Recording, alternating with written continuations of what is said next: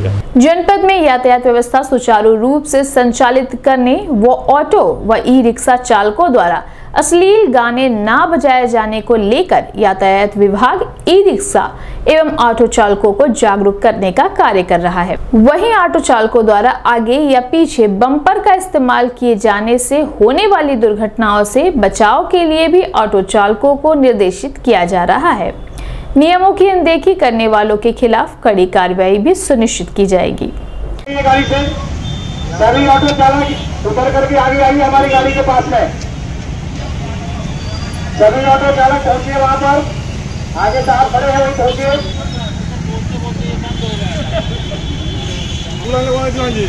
वो खाली ऑटो ले आओ इधर। इधर आ जाओ ऑटो वाले रिक्शा वाले आ जाओ। पर पीछे वाले सीट पर। सवारी जितना बैठाते हैं बैठाइए ड्राइवर के दाहिने और बाएँ कोई सवारी नहीं बैठाना है।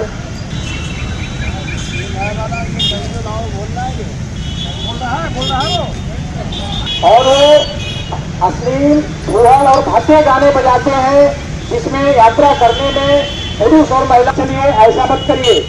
एक हफ़्ते के बाद अगर आप द्वारा ऐसा पालन नहीं किया जाएगा तो आपके विरुद्ध ऐसा गाना नहीं बजाएँगे।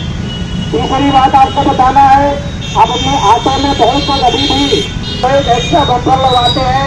आपको लगवाने में भी हज़ार दो हज़ार खर्चा लगता है।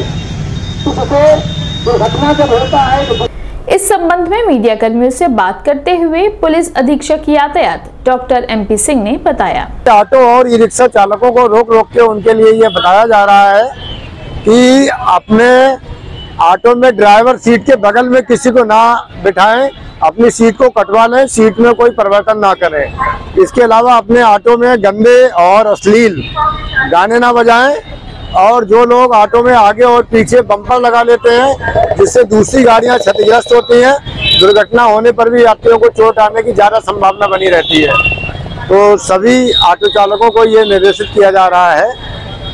इस माध्यम से चौराहे पर, हमारे सभी चौराहों पर सभी टीएसआई लोग लाउड हेलर के माध्यम से बता रहे हैं कि ना तो म्यूज़िक सिस्टम लगाएँ, ना उसमें गंदे गाने चलाएँ और रात के वक्त कुछ लोग लाइट भी बंद कर लेते हैं। तो रात के वक्त लाइट जला के ही रिक्शा वाले चलें और अपनी ड्राइविंग सीट के बगल में बिल्कुल किसी सवारी को ना बिठाएँ। अगर ओवरलोडिंग करेंगे या ड्राइविंग सीट के बगल में बिठाएँगे अथवा गंदे गाने बजाएँगे तो उनके खिलाफ कड़ी कार्रवाई की जाएगी। खेलो इंडिया यूनिवर्सिटी गेम्स 2000